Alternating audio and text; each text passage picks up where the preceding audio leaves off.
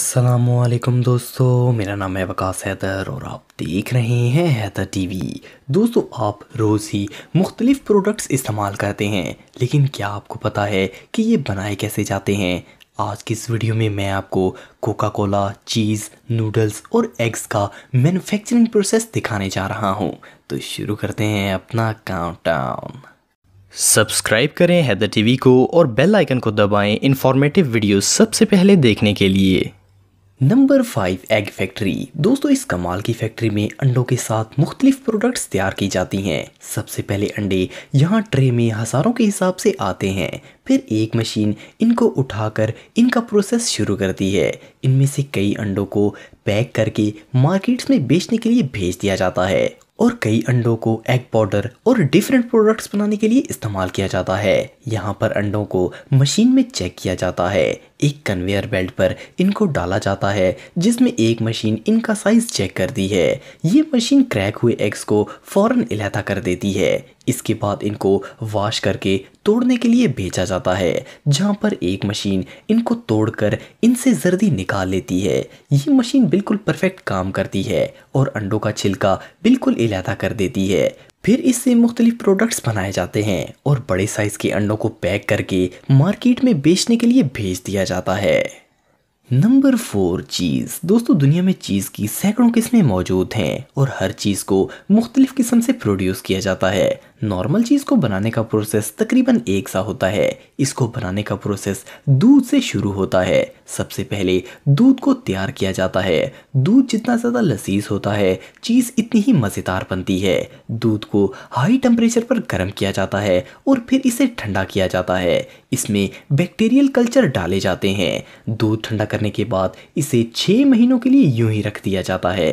जैसे जैसे वक्त गुजरता जाता है, दूध थिक होना शुरू हो जाता है। ये प्रोसेस लंबा है और इसे बहुत टाइम तक खुद ब खुद ही तैयार होने के लिए छोड़ा जाता है। ये पूरा प्रोसेस हाथों से किया जाता है। इसके सख्त होने के बाद इसमें नमक ऐड किया जाता है। इसके बाद चीज़ को मशीन में डालकर प्रेस किया जाता है और ये पैक होने के लिए तैयार हो जाती है। नंबर थ्री नूडल्स नूडल्स को बनाने के लिए टॉप आटा इस्तेमाल किया जाता है। सबसे पहले आटे में एग पाउडर थिकनर और स्टार्चर मिलाकर मिक्स किया जाता है। ये सब इंग्रेडिएंट्स नूडल्स को सख्त रखने में मदद करते हैं। इस मिक्सचर में गूंदने के बाद ये आटा एक बेल्ट पर डाला जाता है। आटे को मिक्स करने में तकरीबन 15 मिनट का वक्त लगता है। बेल्ट पर लगे रूलर्स आटे को बिल्कुल चिपटा कर देते हैं। इसके बाद आटे को एक एक मीटर लंबा काट लिया जाता है। इसके लिए ख़ास कटर्स का इस्तेमाल किया जाता है। इसके बाद ये कटा हुआ आटा एक मशीन में जिग जैक बनने के लिए तैयार हो जाता है। एक मशीन इसको जिग जैक शेप दे देती है। घर पर ये नूडल्स दो मिनट में तैयार हो जाएँ, इसीलिए इन नूडल्स को स्टीम किया जाता है और फिर इनको डीप फ्राई भी किया जाता है। इनको सेम साइज़ में काट कर इलेदा खानों में भरकर तीन मिनट तक रोस्ट करने के बाद ठंडा करके इनको पैक करने के लिए भेज दिया जाता है। नंबर टू कोका कोला दोस्तों कोका कोला की तकरीबन हर फैक्ट्री में रोज एक मिलियन बोटल्स प्रोड्यूस की जाती हैं। कोका कोला की प्रोडक्शन को दो हिस्सों में तकसीम किया जाता है। इसमें सबसे पहले बोटल्स को खास फॉर्म में तैयार किया जाता है और दूसरे प्रोसेस में सीक्रेट फार्मूला से कोका कोला बनती है। कोका कोला को बनाने के लिए पानी सीक्रेट सिरप और कार्बन डाइऑक्साइड का इस्तेमाल किया जाता है। पानी और इस सिरप को मिक्स किया जाता है और इसके बाद इसमें शुगर ऐड की जाती है। इसको मिक्स करने के बाद 24 घंटों के लिए छोड़ दिया जाता है। इसके बाद इस लिक्विड को कार्बन डाइऑक्साइड के साथ मिलाकर कोका कोला की बोटल्स में फिल किया जाता है और फ़ौरन एयर सील कर दिया जाता है और ये कोका कोला पैक होकर आपके पास आने के लिए तैयार हो जाती है। नंबर वन वूपी पाइस दोस्तों, ये एक बहुत ही मज़ेदार स्वीट प्रोडक्ट है, जो कि दो केक्स और इनके दरमियान मौजूद यमी क्रीम पर मुश्तमिल होती है। इस पाई को मुख्तलिफ़ किस्म की बेकरीज और फैक्ट्रीज में भी बनाया जाता है। सबसे पहले इसके केक्स को बनाया जाता है।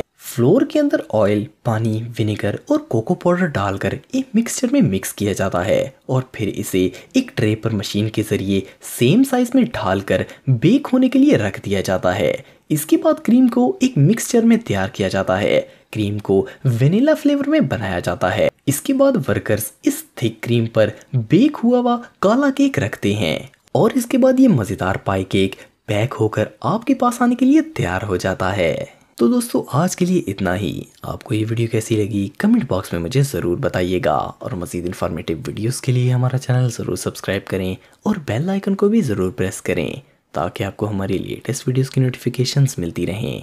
आज के लिए इतना ही दोस्तों नेक्स्ट वीडियो तक के लिए सकते हैं अल्लाह हाफिज़।